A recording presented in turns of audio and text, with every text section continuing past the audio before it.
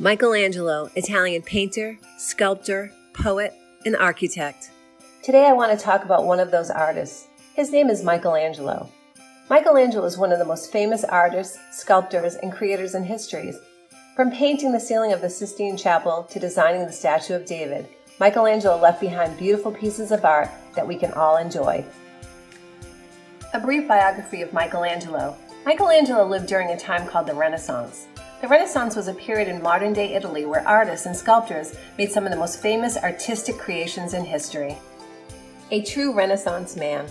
When looking back at the Renaissance, the term Renaissance man is often used. Basically, a Renaissance man is someone who is an expert in many different areas. Michelangelo was certainly a Renaissance man. He used his knowledge in many different areas to create art that is treasured to this day. His art and sculptures are simply stunning. In the year 1475, Michelangelo himself was born in a town called Caprese. Caprese is located in the Tuscany region of Italy. When he was a young boy, Michelangelo moved to Florence, Italy, where he learned from a great number of creators and artists. Michelangelo had different training though. He was an apprentice, which means that he studied closely under several expert teachers. Instead of sitting in a classroom, Michelangelo was experimenting with his art. After this early learning period, Michelangelo moved throughout Italy, continuing to experiment and create paintings and sculptures. Throughout his adult life, Michelangelo worked in three major Italian cities Bologna, Florence, and Rome. Often, powerful people in Italy would employ or hire Michelangelo to create different types of religious art. In fact, Michelangelo even worked for several popes.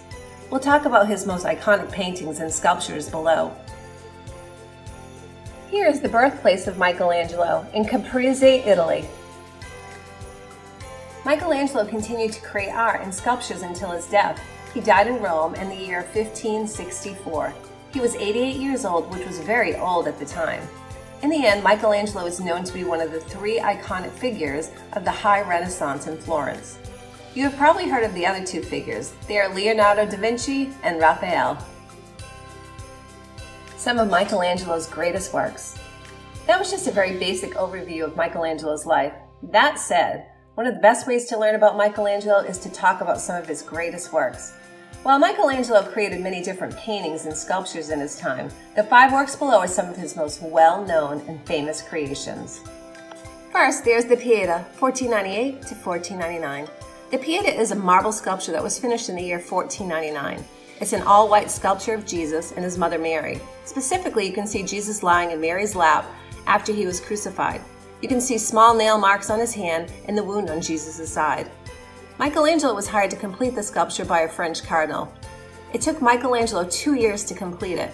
You can see the Pieta in St. Peter's Basilica in Vatican City. According to experts, the Pieta is one of the finest sculptural masterpieces on the planet. Next, Michelangelo is famous for the statue of David. You may have seen a picture of the statue of David before. It's a 17 foot marble sculpture of the biblical figure David standing naked and on top of a podium. This sculpture of David is after he agreed to fight Goliath, who is the large, terrifying person described in the Bible. You can see that David's left hand is holding a sling and his right hand is holding a rock. Michelangelo took three years to complete the statue of David. It was finished in the year 1504. The statue of David is located in Florence and it has become one of the most recognized sculptures in the world. From there, let's talk about the Sistine Chapel. This could be Michelangelo's most famous work.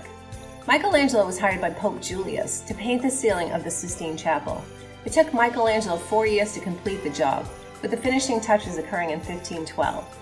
The Sistine Chapel ceiling has many different visual representations of the book of Genesis from the Bible. The next time you visit Rome, make sure that you stop by Vatican City and check out the Sistine Chapel ceiling. You won't regret it. The Last Judgment, 1436 to 1441. The fresco covers the entire altar wall of the Sistine Chapel and is one of the last pieces in the seminal building that was commissioned by Pope Clement VII when Michelangelo was 62.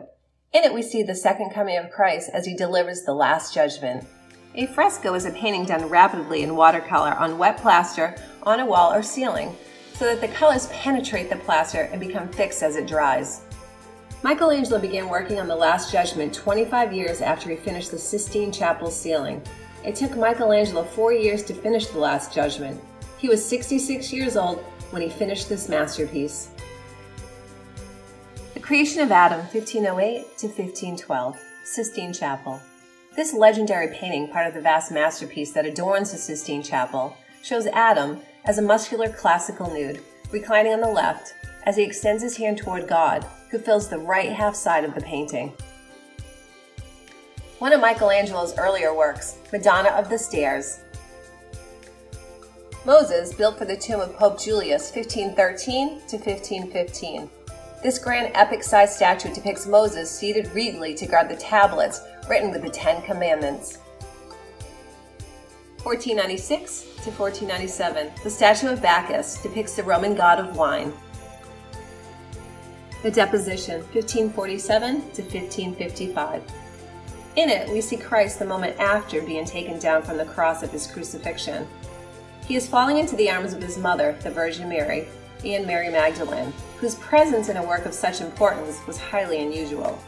Behind the trio is a hooded figure, which is said to be either Joseph of Arimathea or Nicodemus, both of whom were in attendance of the entombment of Christ. Joseph would end up giving his tomb for Christ, and Nicodemus would speak with Christ about the possibility of obtaining eternal life. Finally, let's talk about St. Peter's Basilica. St. Peter's Basilica is an extremely famous church located in Vatican City.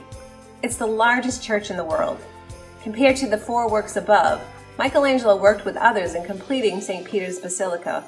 Michelangelo made many different contributions to St. Peter's Basilica, including redesigning its famous dome.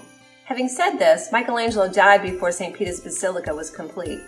Michelangelo's assistant continued to work in the basilica, and Pope Pius made sure that Michelangelo's plans were carried out. Many architects had worked on St. Peter's Basilica, but little progress had been made. Michelangelo was persuaded to take over the project. He returned to the concepts of Bramante, who was the architect, and developed his ideas for a centrally planned church, strengthening the structure both physically and visually. The dome, not completed until after his death, has been called the greatest creation of the Renaissance. Here's a poem by Michelangelo entitled Celestial Love. Ultimately, Michelangelo was a genius. His many contributions to the art world will never be forgotten. If you haven't yet seen the works I mentioned above, I encourage you to find pictures of them on the internet. And if you can go, go ahead and travel all the way to Italy to see those works in person. I'm sure you'll be impressed. Here's a famous quote by Michelangelo. The greater danger for most of us lies not in setting our aim too high and falling short, but in setting our aim too low and achieving our mark. Please subscribe to my YouTube page for more fun videos.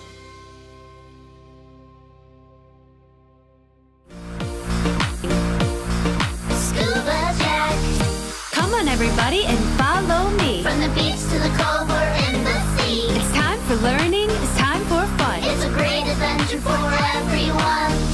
Everybody, and follow me. Jump and swim out to the bottom of the sea. It's time for adventure, fun, and learning. Scuba Jack. It's a shark attack. Yay!